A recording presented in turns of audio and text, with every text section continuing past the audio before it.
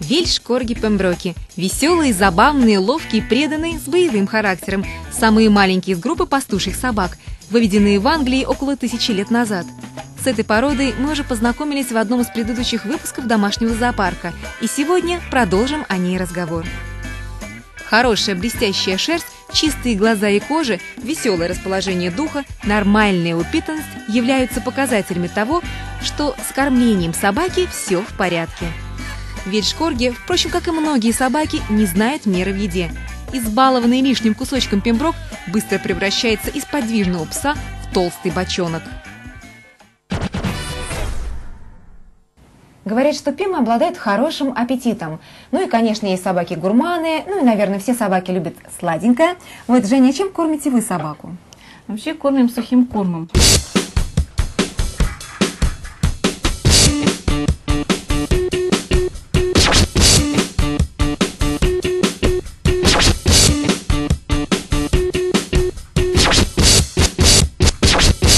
Кормим сухим кормом, и то, и другое. Ну и еще добавляем консервы. И для всяких разнообразных вкусностей, ну, чтобы собака всю жизнь все-таки есть сухой корм, наверное, грустно. То есть мы покупаем всякие вкусняшки. Слава богу, что сейчас очень много этого продается в магазинах. И всякие рубцы, и желудки, и угу. вкусные косточки. А для вкусняшек могу продемонстрировать. У нас есть очень вкусный, аппетитный, ну, с точки зрения собаки, очень аппетитный, а с точки зрения нас вообще жутко вонючая вещь. Называется а что рубец. это такое? Рубец. Готовые сбалансированные корма все больше приобретают популярность у владельцев различных домашних животных. В них содержится нужное количество питательных веществ, необходимых животному на конкретной стадии его жизненного цикла. Консервы для собак бывают как чисто мясными, так и смешанными и рекомендуются к употреблению в чистом виде или в смеси с какими-либо продуктами. Капризным шарикам больше нравятся консервы, чем сухие корма. Готовые корма можно совмещать с натуральными продуктами, но дозы того и другого должны быть соответственно уменьшены. Нельзя резко менять привычное питание питомца. Это может привести к расстройству пищеварения, потере настроения и даже к выпадению шерсти. А, Женя, ну вот мы все прекрасно знаем, что если накрывается стол, приходят гости, и тут куча, куча животных бегает, то, конечно, запахи э, будоражат фантазию. Может ли э, эта собака залезть на стол, например, стащить из э, э, тарелки что-нибудь вкусное, ну или попрошайничать? Попрошайничать, мне кажется, они считают, что это у них работа. То есть это, можно сказать, первейшая обязанность. Вот стащить ну вот старшую собаку мы приучили, что она не будет стаскивать ничего. То есть вот в комнате, например, можно оставить еду, и ты совершенно точно знаешь, что она ничего оттуда не возьмет. А у Жаклин у нее совершенно другие понятия. Ну, она еще маленькая, да? Может себе позволить залезть там носом в миску, в тарелку. И мы тут как-то вот с нашими хозяевами э, щенков встречались, у нас был такой пикничок, и мы накрывали, ну, можно так сказать, стол на траве. Uh-huh. Так вот, все щенки очень четко бегали прямо вот около стола. Еще иногда у них трасса проходила четко по столу, то есть надо было пробежаться по еде, там еще было желательно упасть, быстро все понюхать, что тут лежит рядом. После того, как их отогнали, они стали падать около стола.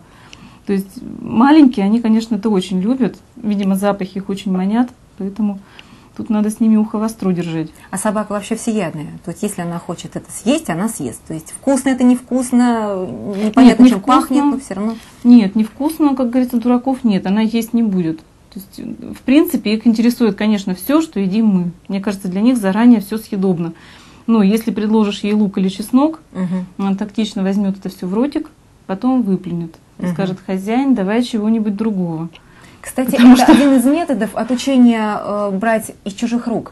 То есть, если вы хотите, чтобы собака не брала из чужих рук, э, засуньте несколько кусочков перца э, в, кол в колбасу и предложите собаке. Она как раз возьмет из рук, потом поймет, что это невкусно. И в следующий раз из чужих рук брать не будет. Что касается команд э, выполнения, то есть и послушания того, что мы делаем, вернее, что мы говорим, то вот старшая собака, та, конечно, у нас уже воспитана просто очень хорошо.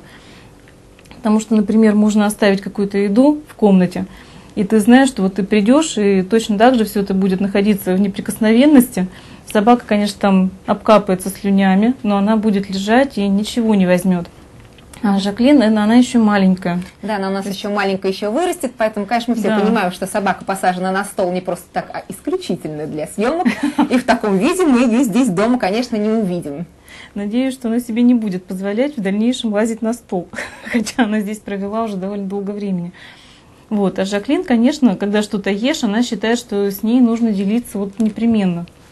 То есть пытается залезть носом в мисочку.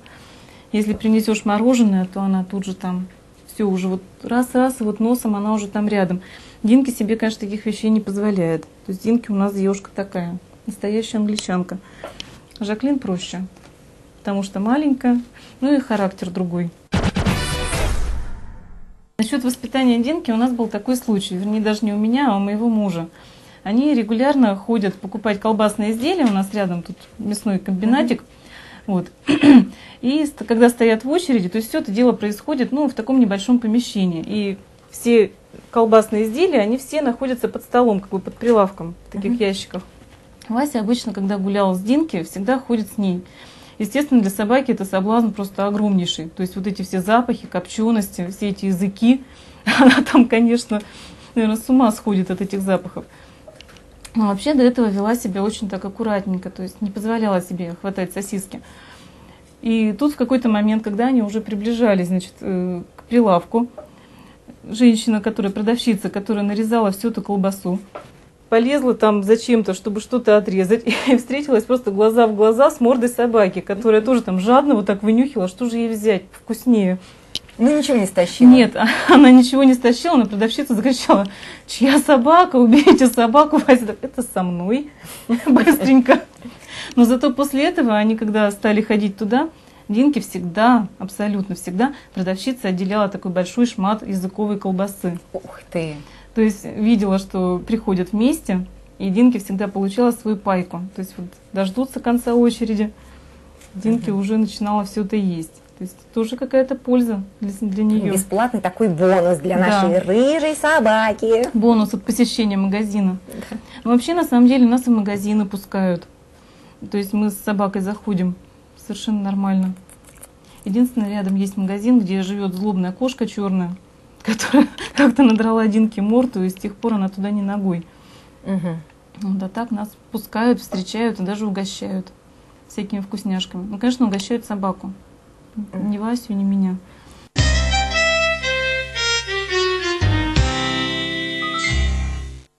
Прием у Айболита. Отвлечемся немного от истории Евгении и заглянем в ветеринарный центр. Сегодня на приеме Спаниель. Причина посещения клиники – желудочно-кишечное расстройство. Недомогание пса вызвано отравлением продуктами недлительного хранения, пресервами. В данный момент пострадавшему ставят капельницу для снятия интоксикации организма. Кушала корм из баночки э, к баночному кормлению есть одно требование. Пресервы, они должны храниться определенным образом. К сожалению, в наших зоомагазинах не всегда соблюдается температурный режим хранения именно пресервов. То есть, если сухой корм он не требователен к хранению, то пресервы все-таки должны храниться при пониженной температуре. К сожалению, они очень долго стоят на полках, бывает при жаре. И вот, к сожалению, да, бывают такие случаи. Доктор, а можно ли рекомендовать хозяину кормить собаку тем, что он ест сам? Смотря что ест человек. То есть кормить ее колбасой, жареным мясом, тушеным мясом с каким-то специей нельзя.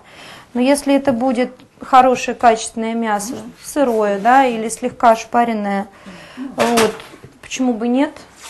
Можно. Вот. Вопрос о кормлении промышленным или обычным, ну, там, рационом, как его принято называть, он спорный и открытый в ветеринарии до сих пор. Плюсов, минусов и в том, и в другом случае достаточно много. И учитывается и возможность владельцев готовить собаки, да, потому что собаку нельзя кормить со стола. Ее можно кормить продуктами, э, привычными нам, то есть мясом, творогом, рыбой, крупами, овощами, но приготовлены эти продукты должны быть для собаки, а не вот что сварили себе щей и налили собаке. Доктор, что делать владельцу, чтобы его питомец не стал жертвой отравления? А Достаточно ли смотреть на этикетку срока годности на банке? смотреть на срок хранения банки и смотреть на условия магазина. То есть, если в магазине там жарко, там душно, да, вот, э, можно посмотреть, иногда приезжали владельцы с отравлением животного, которые только потом говорили, а вы знаете, баночка была там вздутая. Ну, ну то есть, ну, некоторые, бежал, да. Открыл, вроде стоял, то есть, понятно, да, вот срок, срок годности и условия хранения, если это такой, ну, небольшой магазинчик, в котором ну, даже кондиционера нет, ну, лучше пресервы там не брать. Будьте внимательны при покупке еды для питомца. Заболевание желудочно-кишечного тракта очень опасно, особенно для щенка. Болезнь быстро развивается и при отсутствии неотложной помощи приводит к скорой смерти собаки. Поэтому не запустите болезнь. И главное, чтобы в процессе лечения были строго соблюдены все рекомендации ветеринара. Говорят, что питомцы очень похожи на своих хозяев и даже копируют их эмоции. Американские ученые провели эксперимент, взяли 28 домашних питомцев собак и заметили, что 20 из них зевают вслед за своими хозяевами. И наверняка вы уже точно замечали, что дворняжки, обычные наши уличные дворняжки, переходят дорогу на зеленый свет светофора. А многие хозяева видели, как их животные с удовольствием смотрят телевизор. Женя, вот ваши смотрят телевизор? Да, конечно мы замечали, что программа о животных, например, может, банально звучит, но Animal Planet, она смотрит с удовольствием. Не знаю уже, что она там видит, но наблюдает за происходящим на экране очень внимательно. Вот. Еще у них есть такая семейная, можно сказать, особенность постоянно нажимать на кнопки пульта. То есть, если, например, смотришь телевизор и что-то переключилось или выключилось, наоборот, точно смотри, где собака. Где собака, значит, там пульт. И кроме телевизора, вот Жаклин, например, еще очень любит смотреться в зеркало. То есть как-то у нее это проявилось да, в детстве. Да. Не знаю тоже, что разглядывает, когда смотрится, когда она там одна. Но вообще замечали раньше, что вот, например, когда ты находишься на диване, uh-huh. а Жаклин внизу, поскольку на диван она еще не умеет запрыгивать, она сидит и следит в зеркало за тем, что ты делаешь. Uh-huh. То есть, например, раз утром ты проснулся, Жаклин тут же уже бежит тебя встречать. И сейчас тоже, когда берешь ее на диван, она ложится именно лицом, вернее, мордой к зеркалу. Чтобы наблюдать. Да, да, и у нее такой обзор в зеркале. Вот, а так телевизор, ну, мультики еще иногда привлекают внимание, типа футурамы. Не знаю уже, что там. Видимо, яркие, но не яркие, а крупные фигуры, то есть ей нравится. Ушками так шевелит в сторону происходящего. Быть в курсе того, чем занят хозяин, это природное призвание пемов, ведь их предки – отличные пастухи. Хотя сегодня пемброки и утратили свое рабочее назначение, с послушанием и обучением у них все нормально. Чтобы увидеть эту породу, как говорится, в действии, мы с Евгением и ее мужем Василием решили прогуляться в парк.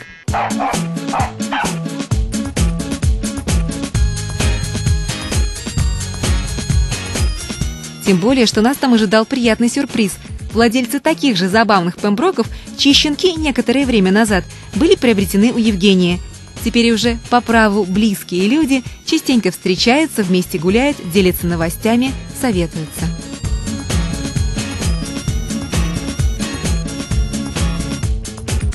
Вот это мой Рики, единственный парень из всего помета. Вот. Собственно говоря, поэтому он единственный вообще. Я искала корги после того, как увидела их в прошлом году. Вот, и хотела именно с хвостом. И наткнулась на вот этот помет э, Есения. И там был единственный, ну, этот помет был с хвостатой, и единственный пацан был, это вот он. Соответственно, он мне и достался. Так что это судьба. Очень смело, не боится вообще никого. Я не знаю, как остальные сестренки, но вот он, для него нет преграды. То есть огромный дог, пожалуйста, он будет с огромным догом. Мы гуляем с гончими, я вижу, как они круги наматывают, а он, конечно, не так. Но, э, несмотря на это, он все равно все-таки для пожилых он слишком силен. Собака все-таки достаточно крупная для пожилого человека. Вот. И все-таки активность у нее тоже ну, больше, чем может вынести человек в возрасте. Вот, то есть э, и, я считаю, что скорее это все-таки собака для семьи, для ребенка, который вот не обидит, для, может быть, не очень сильно активных людей, которые, ну, вот, скажем так, с ним нельзя ехать, ездить на велосипеде, они это не выдержат. Правительство недостаток этой породы, что одной собаки мало, поэтому надо заводить двоих. Ну и встречаться с себе подобными. Потому что тут получается, что встречаясь вот с крупными собаками, крупные собаки, они играют совершенно по-особенному. Они там начинают как-то маленькую собачку валять, то есть у них игры такие более жесткие.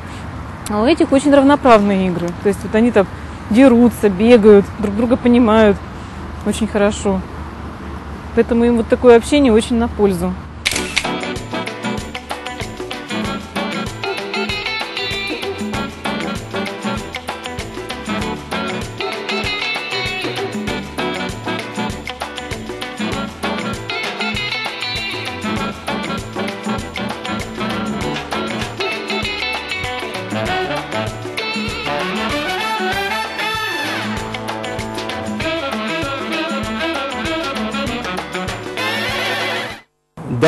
Собак, к собакам относился равнодушно.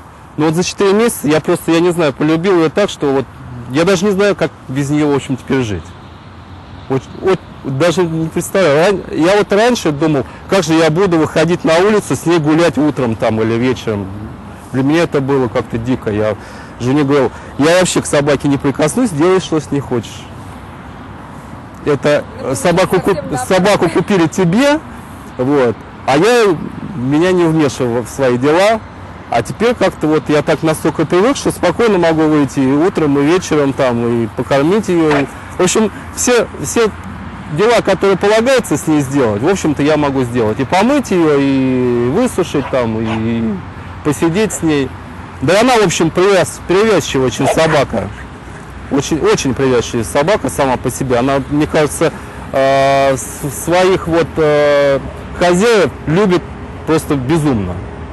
Мне кажется, это собака. По крайней мере, я по своей собаке так вижу, что просто нереально. Если уходишь из дома, вот может быть даже эта проблема какая-то создается, когда уходишь из дома, она просто вот, э, ну просто теряет э, свое лицо, она просто сникает, начинает там выть, стонать.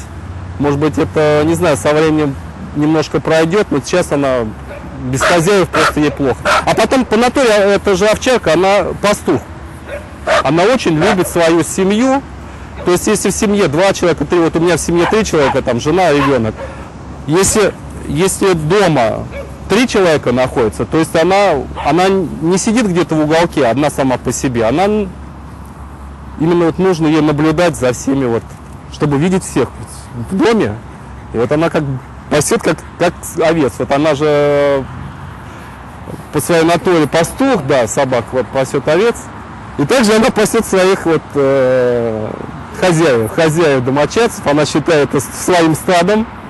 И она их собирает. Очень сложно выйти с ней на улицу вдвоем и разойтись в разные стороны. Это вообще беда. Никогда не убежит. Она не убежит, она может разорваться между двух хозяев. Она будет собирать их, собирать, собирать, собирать. Она хочет, чтобы все ходили вокруг нее, все рядом с ней были. Давайте попробуем взять собаку на руки. Позовите? Но если сейчас пойдет, она у нее много очень сейчас отвлекающих маневров. Марфа! Вон у нее дружок. Марфа, иди ко мне. Иди ко мне, иди ко мне, иди ко мне. Ну. Эх ты моя радость. Собака, ну это разве можно любить такую собаку? Видите, какая она сейчас довольная.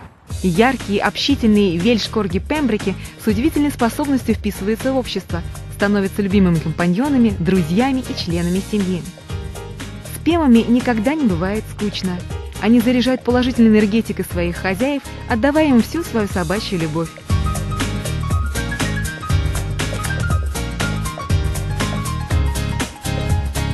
В конце нашей встречи собака Евгении, очаровательная Венки, продемонстрировала некоторые команды послушания, больше похожие на цирковые номера.